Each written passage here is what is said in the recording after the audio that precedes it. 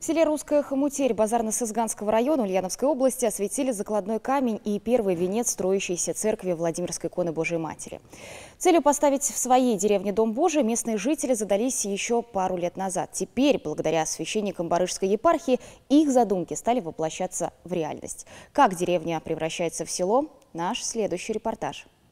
Здесь все на одном пятачке. Сельмак, памятник землякам, сложившим свои головы на фронтах Великой Отечественной, детская площадка и даже атрибут маленьких деревень – рында для общего повсеместного оповещения и сбора. Она и по сей день актуальна. Сотовая связь здесь почти отсутствует. Храм Владимирской иконы Божией Матери также решили поставить в центре деревни. В русской хомутере, по последним данным, живут меньше полутора сотен человек. В основном пенсионеры. Те же молодые, которые не покинули свою деревню и остались на земле – решили сохранить свою малую родину и не заносить ее в список вымерших селений. Как бы основное такое, что будет церковь, будет жива деревня. Как бы так вот. Ну, не буду говорить, что все хотят, но большинство.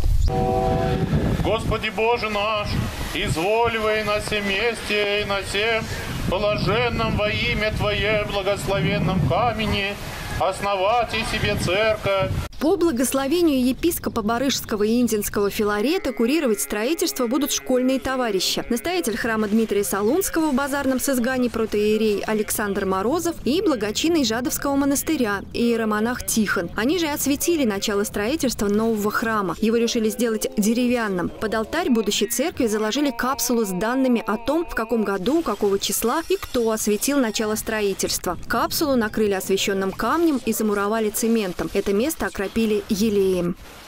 И знаменно будем место сия. Дом молитвенный честь славу. Топор. Богу в Троице святей славим Отца и Сына и Святого Духа. Аминь.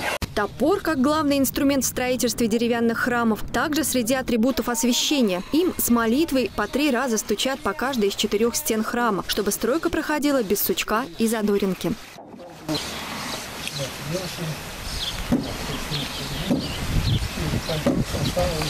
Обойдя фундамент будущей церкви и помолившись о благом начинании, батюшки обратились к жителям русской хомутери. Главный посыл – жить с Богом в душе и посильно помогать в строительстве своей церкви. Ведь этот Дом Божий созидается для их же спасения. Храмы Божии совершаются для того, чтобы наши души и телеса наши, которые суть храм Духа Святаго, освещались и благословлялись теми таинствами, которые совершаются в этих земных храмах. Это прежде всего исповедь и причастие святых Христовых тайн. Спасибо всем, кто трудится, помогает здесь. Вот. Приход э, наш базарский не очень большой, конечно, но вот, э, вот эта русская хомутерь э, чем нравится, потому что тут вот как бы вот люди с чистым сердцем. С момента окончания освещения русская хомутерь теперь из деревни превращается в село. Тут есть, пусть еще и строящийся, но храм. Кстати, это первая церковь за всю многовековую историю этих мест. Татьяна Дудина, Дмитрий Гурин, Вести Ульяновск из Базарно-Сызганского района.